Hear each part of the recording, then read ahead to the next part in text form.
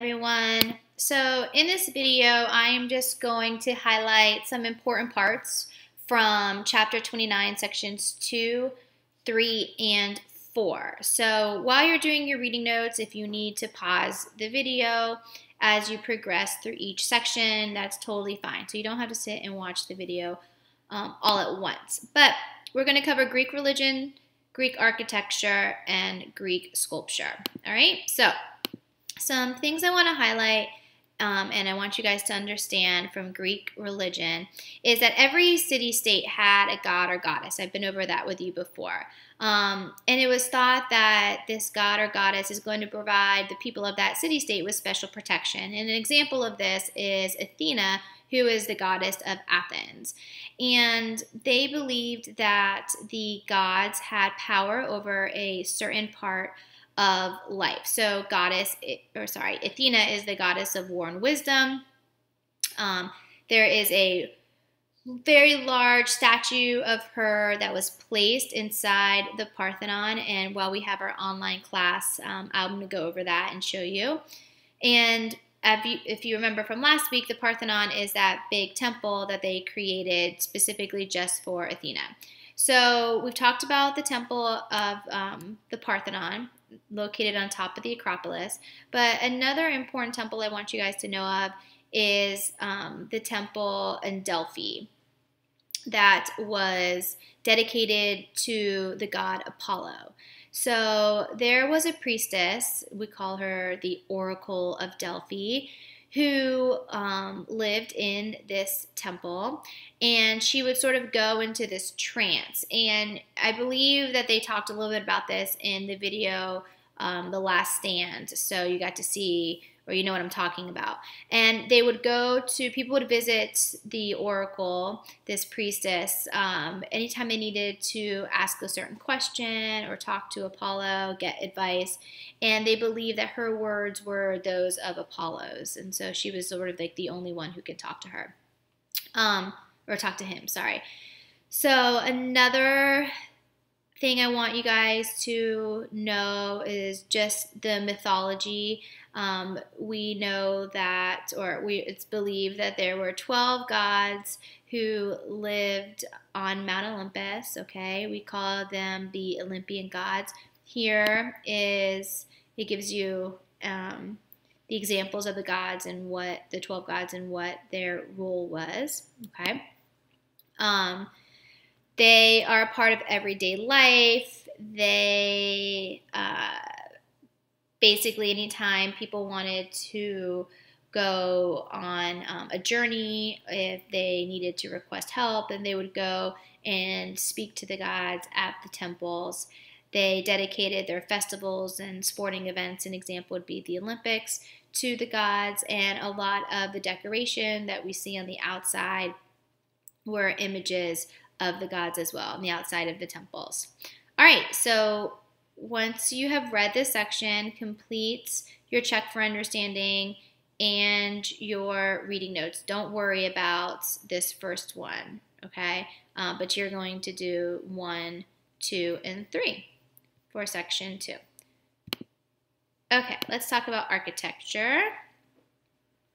Architecture is very important um, in ancient Greece because a lot of the architecture that we see now in our modern day actually comes from ancient Greece and also from ancient Rome. But the Greeks were the first to develop um, these temples, okay, these great places of worship. And these were earthly dwelling places for the gods and goddesses, meaning that um, they believed that the temples were like the earthly homes for the gods and goddesses when they came down from Mount Olympus. Um, the ceremonies, like any sort of religious ceremony or festival, were held outside of the temple. So don't think of it as a church where people go to congregate and worship the, the gods. It was actually, um, people weren't allowed inside. Only the priests and the priestesses were allowed inside the temple. You can see here in this picture how big uh, this is the picture of the Parthenon, how large it actually is. Okay, so temples show balance, they show order, they show beauty. And one of the greatest things that the ancient Greeks came up with were the columns. You must know the different types of columns. Okay, there's three different types of columns there's the Doric, which is located right here. This is the simplest, this is the earliest. There's no base. It gets narrower towards the top, and it's kind of just like blah. I guess you can think of it that way. The second column is called the Ionic, and the Ionic column has these scrolls at the top. Maybe you've seen those before. And it also has a base, and it is very thin.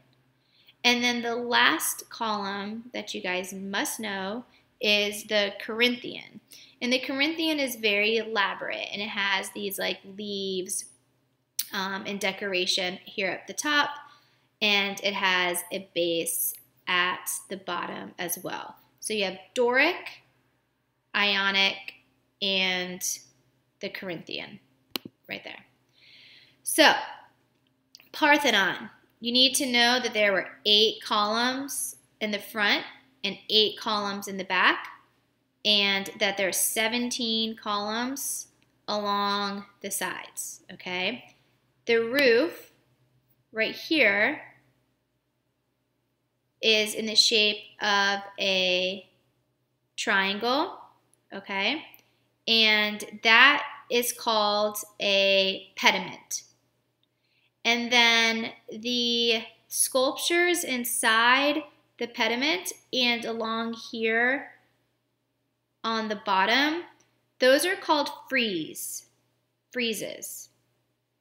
And then those specific individual sculptures right here, those are called metopes. So you need to know those different architectural features. You need to know pediments, which is the triangle part of any sort of Greek building. You need, which is they're in the front and in the back. You need to know the frieze, which is like the actual sculptures, and then, or like the band right here, sorry, and then the individual pieces of art and sculpture inside are called the metopes. So there's many different sizes of temples, but this the shape is is very basic and it's very um, similar. They had a very large room with a statue of the god or goddess inside. Um, Athena stands 30 feet high. I can show you just a really quick picture of Athena statue in Parthenon. Um, this is what it was believed to look like. And so you can see that it is very large. It stood in the middle, um, made out of gold, 30 feet high. Pretty incredible. So they would have typically a statue in the center. Um, it was made out of wood, but then it was covered with ivory to make it look more lifelike. And then dressed in clothes decorated with gold. It represents beauty um, and it shows their awe of the gods and goddesses. So go ahead, pause, do the check for understanding, and then you're going to fill in these reading notes. Okay, our last section for this video talks about Greek sculpture. And we've seen um, a lot of examples of Greek sculptures. Sculpt, I can't spell today. Okay. Um, you've seen different, right, different pictures, different um, examples of Greek sculptures throughout time. So here we go. Um, this is a great example, Athena, just like how we saw earlier, of Greek sculpture. Um, what they would do is sculptors would set up a workshop close to the site where the finished statue would be placed because obviously carrying such a large statue across town is not going to be feasible. So they would set up their own workshop and then they would have apprentices, meaning like people who would work for them, and they would make like a life size clay model. Um, supported by metal or wood frames. And then it would be, the outline would be roughed out in marble, but then the master sculptor would come in and he would be the one who put all the finishing touches and all the finishing details. Surprisingly enough, when we think of a Greek sculpture, it is, we think of just like plain white. Um, and that's um, not accurate from what we know. We know that originally, these Greek sculptures were very, very colorful. Um, they had different pieces of um, bronze or gold attached to them, which over time, just sort of people might have um, taken them etc. And then there was different colored waxes and different bright colors for this hair, the lips, the clothes, and the headdresses, which is something that's hard for us to think about now, considering we don't have any, there's no sculpt, sculptures or statues of the sort that have any color to them that come from ancient Greece. Um, creating these lifelike statues was one of the greatest achievements of Greek sculptors. So you need to know that in the beginning, they very much resembled what Egyptian statues look like. So think of like when we studied ancient Egypt, you have the Greeks, um, sorry, the Egyptians having these very, very large statues. Ramses is a great example, right? So, like facing front, they're very stiff, their arms are down by their side. Um, but then later on, gradually, these statues in ancient Greece become more realistic and where they're doing more natural poses. They're showing detail of their hair, their muscles, their clothing. So you need to know the difference between the earlier Greek statues resembling the Egyptian statues and then the more realistic statues that the Greeks um, developed later on.